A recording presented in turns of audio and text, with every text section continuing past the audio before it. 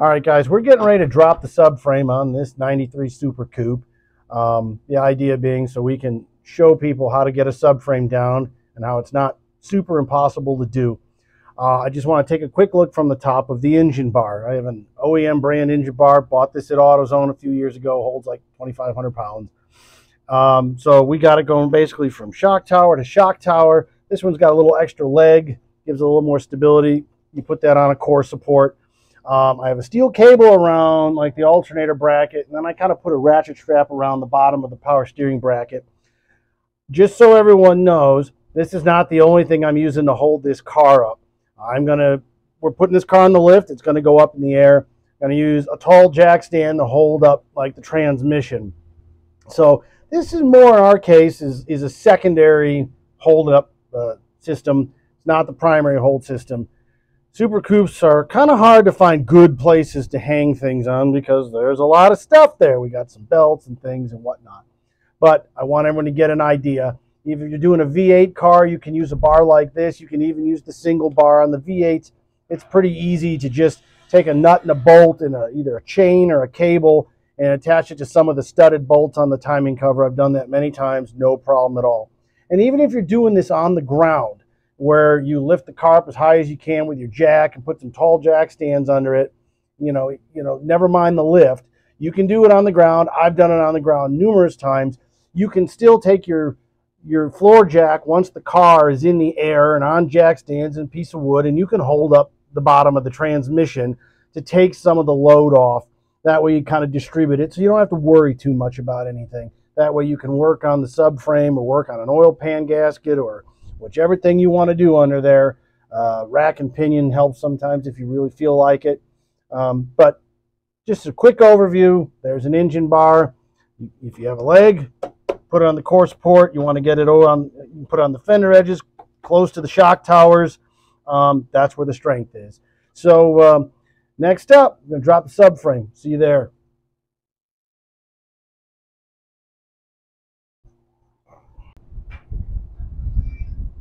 Hey guys, how you doing? Okay, we are prepping to lower down a subframe, and we're going to talk about the tools you need. Um, want a hammer? You got a long 12 inch half half inch drive extension. I have a 916 socket, um, impact half inch drive, or you need an E18. My E18 is not close to me. We're going to use a 916 to get off the subframe bolts. I got a 21 millimeter I have a long 3 8 extension. It's like a 2 footer, 2.5 footer with a U-joint, an impact U-joint, and a 13 millimeter. That's for the motor mount bolts.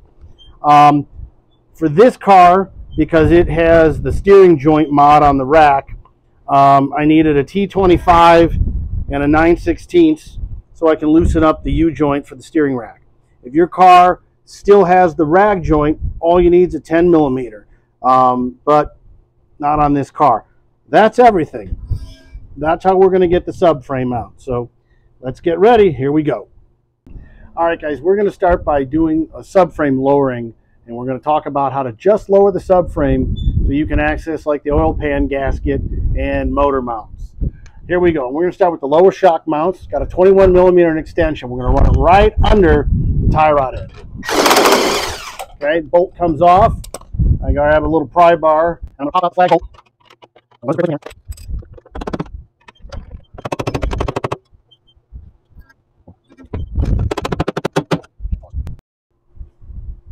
Okay guys, coming in from this side, um, the shock wants to push down, so it kind of pinches this bolt, makes it a little hard to get off. So I'm just using a little pry bar, gonna come in under here, just lift a little on the shock, just a little bit of tension, and then you can just, you can wiggle that guy out.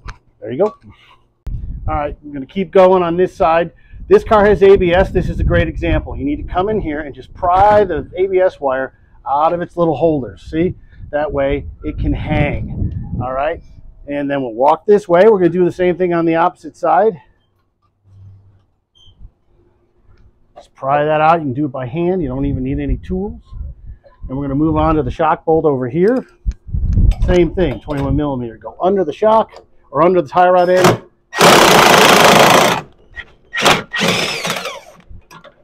that.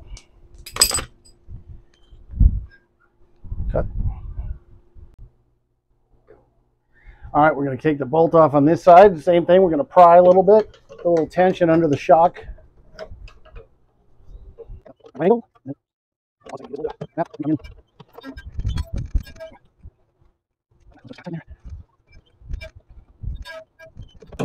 There we go. Okay. Now, before we drop the subframe, we got to undo the steering shaft. So we're to come in here. Now, remember, this one's modded. Doesn't have the stock uh, rag joint, so I got to loosen up the set screw. Grab my little T25. Back that guy out. Okay, this out of the way. Grab a little pry bar. Push up. And it's loose. That's it. All right, guys. Now the next thing to do is take out the bolts that hold that are horizontal to hold the motor mounts in. I'm going to take a long extension with a 13 millimeter and a U-joint on there. I'm going to get way back there. See it up there? See, it's all hiding there. I'm going to hit that with my big gun.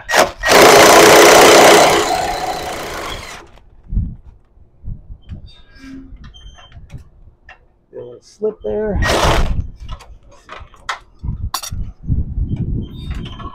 And it's out.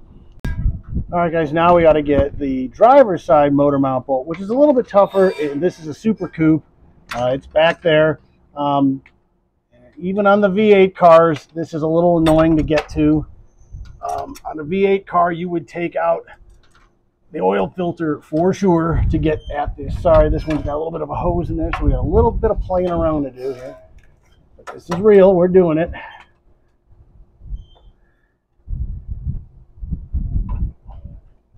All right, we uh, had to move a little bit just to get on it, but they're on it. You had to push that hose up that's above, kind of in front of the mount. Okay, that's loose. Tool out.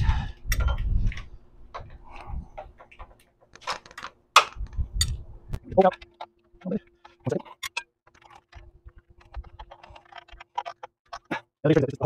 We'll get it. There we go. There's a bolt. All right, guys, now we're going to take out the eight subframe bolts. I got the 9 16 on a long extension so I can reach down, and you will see they start up here. I'm going to come in and get one. These are E18s, but one, two,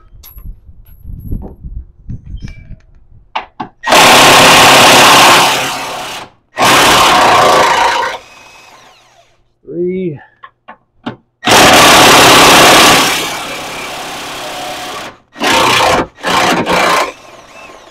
four. Now to the other side.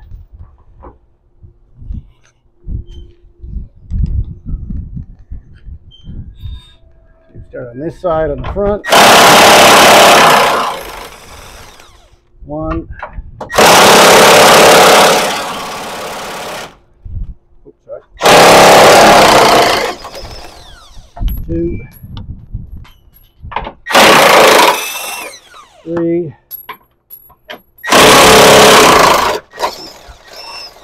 Four. Now the subframe is loose. So here we go. Now all we got to do is I have the subframe because I'm under a lift. I have it on a transmission jack. If you're doing this in your driveway, or your garage, which you can, you want to have a jack under there, piece of wood or something to hold it in the middle, balance it between the front and the back, makes it a little bit more manageable. Remember, we have power steering lines that in most cases are sort of attached with a bunch of 8 millimeter screws. Um, this one doesn't have any right now. If you're doing a V8 car, there's two or three of them, and you got to take those out. But when you start this part of the process, go slow and have a look. Watch what you're doing just to make sure there isn't anything attached to anything so you don't wreck an ABS wire or maybe there's a wire attached in there. And definitely the power steering lines um, will get in the way if you don't detach their attaching. So here we go.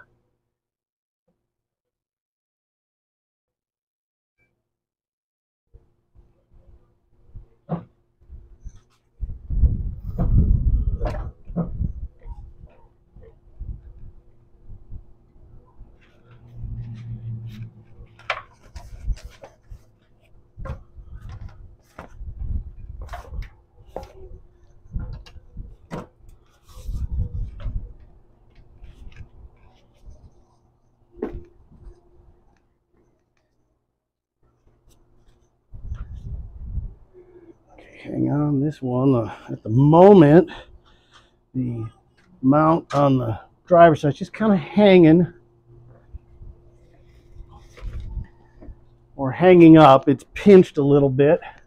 So I'm just going to reach under here with if you want to take shoot over here. It's just hanging there a little bit. Oh okay I just remembered something. This is a super coupe. There is a third 13 millimeter bolt right up there V8 cars don't have that, and I took that for granted. So give me a second. I'm going to go get a tool.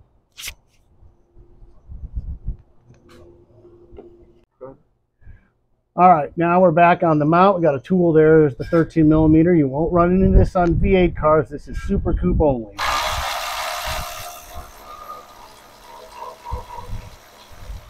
Okay, grab that bolt. Take that out of the way. All right, now we can lower it.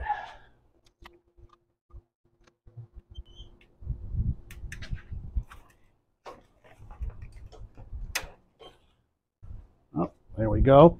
That's what I'm talking about here, right here. There's an 8 millimeter. See, kind of even overlooked it myself. Give me one second. Cut.